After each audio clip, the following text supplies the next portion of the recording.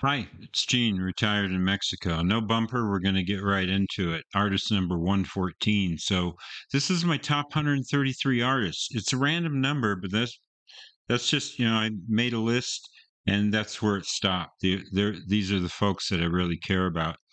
And uh, the criteria is below. You can read all about it. And I basically made 80, 80 minute playlists.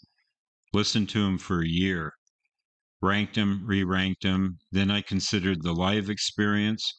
And then I also considered, uh, you know, whether or not I read articles and or buy books. So anyway, number 114 is a group. It's an American group. And uh, by the way, um, hit that like or subscribe button. It really helps. And I also have a uh, Patreon page you can support. That link will be down below. And uh, also, I have a list, um, a link, not a list, a link to the playlist for this particular artist. But yeah, classic rock band from the 60s and 70s. Yeah, I like classic rock. And this is a good one. Uh, this was a very innovative band that basically started two kind of genres on their own, or at least they were on the scene. Uh, the first one, Jangle Pop with 12 string guitar, and then later they morphed into country rock, and that is The Byrds, B Y R D S. Yeah, really good stuff. Um, I've never had um, all of their albums. I've always just had anthologies. So for years, I had their box set, five five CDs, I think, and I sold it when I moved to Mexico uh, four years ago. And so what I have now is this distillation from that box set. It's 20 tracks from the box set, 1965 to 1990.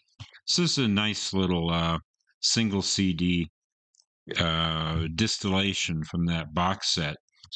Uh, not haven't seen them live because it was kind of before my time. I guess I technically could have seen them, but their heyday was kind of before I became an adult. And yeah, and uh, but I do like to read up on them.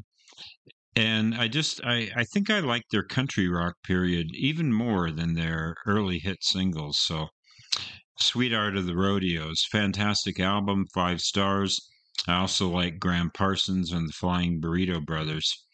I think it's great stuff. And on here, you know, some of my favorite songs are I, I'll Feel a Whole Lot Better, When You're Gone. That's an awesome song. Tom Petty covered that song. Eight Miles High, of course, Mr. Spaceman.